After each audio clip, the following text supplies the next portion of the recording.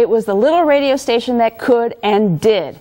Cleveland's WIXY 1260 became a powerhouse in the 60s and 70s, at one point owning 50% of the listening audience.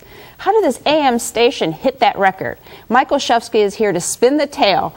Mike is the author of WIXY 1260, Pixies, Six Packs, and Supermen. Welcome. Well, thank you very much, and congratulations. 600 shows is pretty impressive. Uh, we're real happy about that. There you go. So, tell me, why did WIXY actually take off? You know, what was going on then? You know, it's funny because when we started this project, uh, Rich Berg, who's a local uh, historian, media historian, a great one, one of the best in the country, as a matter of fact, and Carlo Wolff, uh, who edited the book and who's a pop culture historian in his own right, uh, we kind of got together and we thought, what made this station so important? Well, it was a harmonic convergence of a lot of things. There was some wonderful music, but at the same time, great personalities on the air and three visionaries.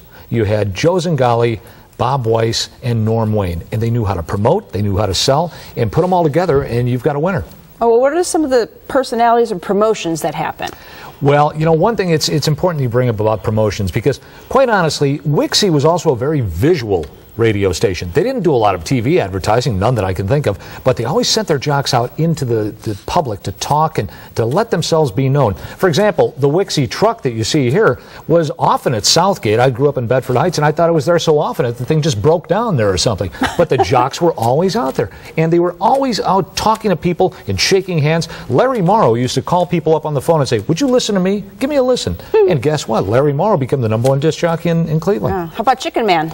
Chicken Man. Well, you know, once again, there's Larry as Chicken Man. But Chicken Man was sort of a parody of uh, the Batman series that was so popular. I remember that was sort of like that, that whole pop culture craze in the mid 60s.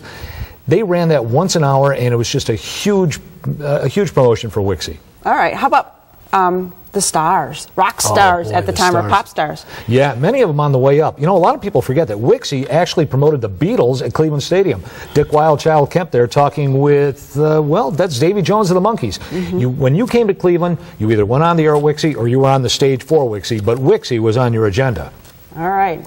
Brought all the big names into town and Boy, onto did the they air. So, Yeah. And a lot of good people, you know. And once again, the promotions, like uh, for example, in uh, this photo, you see all the promotion uh, promotional letters that came in looking for tickets to various shows. I mean, it was absolutely wonderful, and that's probably uh, one or two days mail. That's amazing. And somebody Yeah. had to sit there and open all of that. Well, I'm sure the postal union wasn't too happy about it. You know, Neil Diamond made some very early appearances at uh, the appreciation days at Geauga Lake and Euclid Beach and things like that. But Neil Diamond would just sit around. Nobody knew who he was. Then they went on stage. They knew him after that. okay.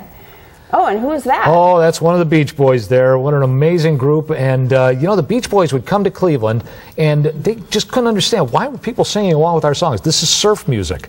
But WIXY just promoted the Beach Boys and they promoted everything. They promoted Motown, country, uh, blues. You would have Dean Martin followed by Led Zeppelin. Oh, and man. folled by Johnny Cash. And that was just a typical day on the air. And I know WIXY took you know its turn at the top, and then it Sure turned did. into FM. And next week I, you're going to be back with talking about WMMS. If you'll have me, sure.